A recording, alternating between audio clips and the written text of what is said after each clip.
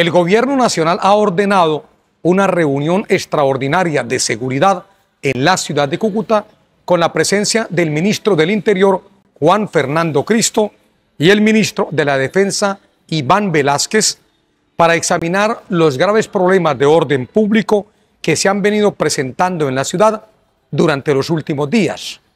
Los jefes de esas carteras se reunirán con el gobernador del departamento, William Villavizar, y el alcalde de Cúcuta, Jorge Acevedo, así como las autoridades civiles y militares para buscar la manera de evaluar la dimensión que ha alcanzado la criminalidad que se presenta en esta región de frontera. La reunión está prevista para este jueves y desde luego se van a escuchar a muchos sectores que están siendo afectados por la ola de delincuencia que hay en la ciudad de Cúcuta. Repito, este jueves, gran reunión extraordinaria de seguridad en la ciudad de Cúcuta. La Cámara de Representantes aprobó ayer una proposición donde se reconoce a Edmundo González como presidente electo en Venezuela.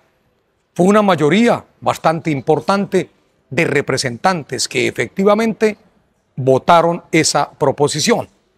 Ya la Cámara hace ese reconocimiento y desde luego busca la manera de que otros sectores también lo hagan.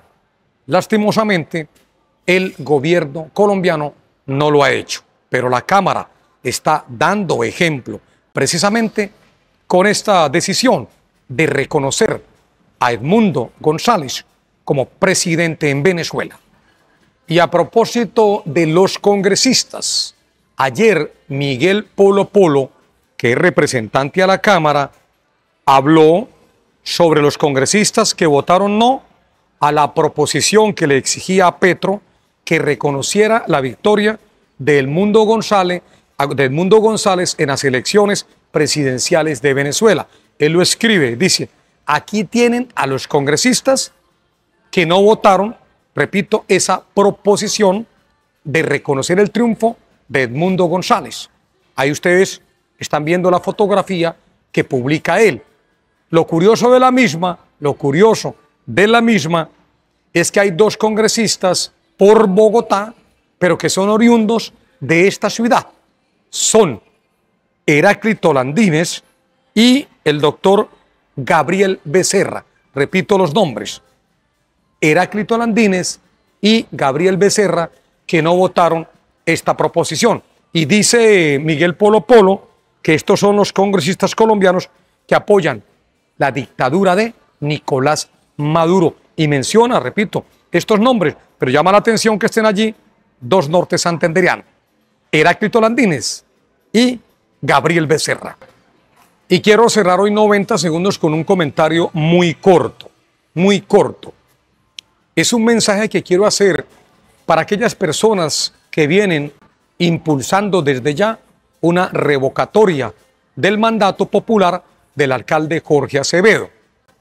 Quiero decirle a estas personas, con todo el respeto, que no es el momento, que no tiene ninguna presentación desde nueve meses después empezar a hablar de una revocatoria del alcalde de la ciudad de Cúcuta. Incluso yo hice un comentario el día de ayer hablando sobre el particular y algunas de las personas que están en ese propósito ya me escribieron a mi cuenta de Twitter. Pero yo mantengo mi posición. No es procedente, es apresurada y no conduce a ninguna parte buena en la ciudad de Cúcuta. Mientras la ciudad se debate en un hecho lamentable como el que pasó el pasado fin de semana y ante tantos hechos delincuenciales, yo pienso que hay asuntos prioritarios que tenemos que abordar los cucuteños. Unirnos sería lo ideal. La oposición es buena, pero hablar de revocatoria a mí me parece que no es el momento y es inoportuno tomar una decisión de esa naturaleza. Repito, pueden hacerlo, pero yo particularmente no estoy de acuerdo.